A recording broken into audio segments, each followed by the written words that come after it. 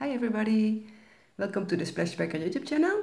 Uh, in this post I'm going to share three tips for female scuba diver travelers uh, which you really can take in your backpack if you like to go traveling and scuba diving. And they're all pink as you see because today it's International Women's Day. So even though my blog and this YouTube channel is not focused only on, on female, but this post particularly is focused for female travelers, okay? So I'm gonna share three things I always carry with me uh, in my backpack because they're very useful. Um, especially for females. Well, the first one is not really for females, but it's pink though. The little dry bag you buy for one or two dollars everywhere in Thailand, for example. This is the two liter version. And it's not only to go diving. Well, this bag is super useful, of course, to keep things dry on the dive boat. But as well, for me, it has the perfect size as a handbag as well. So sometimes I don't have enough place in my backpack, I don't carry a handbag. And if you in the evenings like to go for dinner or something, I keep this bag as a handbag. So most female travelers still need to have some kind of a handbag. Um, and this size for me is perfect because um, sometimes I take my Kindle, I like to read. If I go for dinner alone or something, it fits the Kindle, it keeps everything dry. It's safe as well because I sometimes carry my little backpack or backpack whatever and use this as a handbag on the airport and stuff. You close it like this, so nobody can just grab into your bag. So it's uh, it's not very fashion fashion, but um, so this little bag is super useful for me, unmissable. Second thing, it's a Dutch thing. It's called the washing hand in Dutch. It's some I don't know. I'm sure you have it in other countries as well. But in uh, the Netherlands originally, it was used like you can put your hand in to wash your face. All right.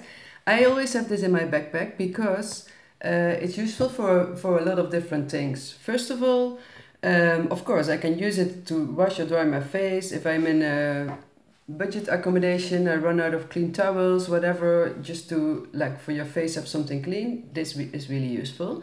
Second, uh, if you go diving, you can use it as a dry cloth to like dry your mask, clean your camera lens. Um, yeah, you can do a lot of things with it, so it's very useful. And as well, I like to go running sometimes, and you can use it like to, to take off your sweat off your forehead or whatever. So the, the Dutch washing hand. And third thing, it's the um, uh, cup for menstruational cup. So they have different names, there's different brands now. I'm just gonna show you a bit how it looks like. This is why it's really a female post. But this is very useful. It works like a Tampax and you can reuse it. You can wash it. Um, and especially, I've been traveling to places like Philippines, for example. I just call I just name a country here, but a lot of places in Asia, Tampax is not very common. What do you do if you have your period and you want to go diving and there's no Tampax available? I had that problem once when I was in the Philippines. Uh, I was walking through Manila like maybe two hours from shopping center to shopping center and I couldn't find any Tampax and I needed to go diving the next day. So finally I found it, but that like for me it's not always perfect this one, but it's good to have as a backup. I always use my normal Tampax, but uh, this one is environmental friendly because you don't produce waste and um, it's just unmissable in my bag. If I have my period and I don't have enough Tampax, I can still go diving with this. Okay? So that's a little uh, three things you can carry in your backpack.